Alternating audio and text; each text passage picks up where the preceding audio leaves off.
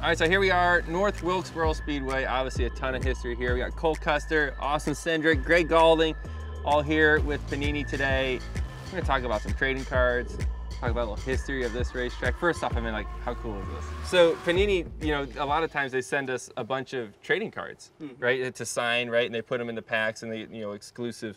And sometimes they have some really cool stuff in it, right? They have tires, they have your race suit, they may have parts of your car, um, your shoes, uh, and they don't even smell, which is, I don't know how they take the scent out of the shoes. does your autograph stay the same? Like, does your autograph change as it goes along, or are you able to stay consistent? Because I try to keep it nice, but eventually do your arm too. gets There's tired. There's always so that I- one. So There's I, one you're gonna screw up. Like, what happens to the one you screw up? You up? feel so bad. I, I set the first one out and then I set the last one and compare the two. because it always it always changes. Like you, you become so detail oriented with your first couple, Yeah. and the last few you're just ah Well, you're do starting to whatever you can. Yeah, now. so if Yeah. if you do screw one up, what do you like? I make it special. So I'll like put like a smiley face or like a heart or like you know one of one. One of one. One on one. Oops.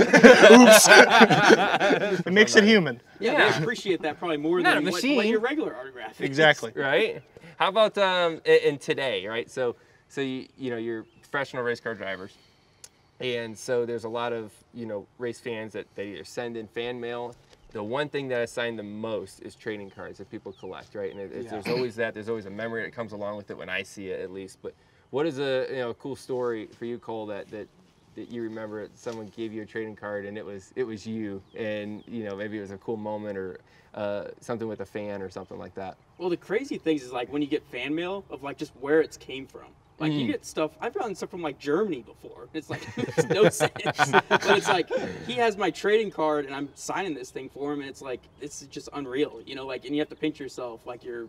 I mean, you would have dreamed to be in this kind of situation, I guess, as a kid, you know. Yeah. So it's just it's amazing like where they get to. I guess it's, it's just amazing. the fact that people are, are sending the, their cards or my cards to me from Panini is like is really cool and um, and, and a lot of times is what I what I really enjoy is like I don't know if this happens to you guys but do you guys get like letters or like messages Yeah. like with yours? And a lot of times like if That's if the a- best part. if it's like a real personal message like hey Gray you know been following you for you know 10 years you know really love watching you blah blah blah.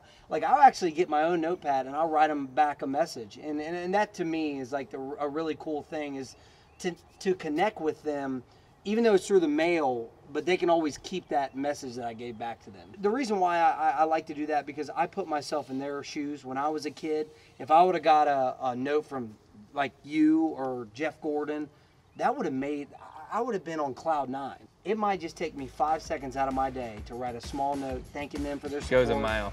Man, it goes a mile. Did you guys like that video? Well, there's plenty more where that came from. Click the subscribe button below to see more.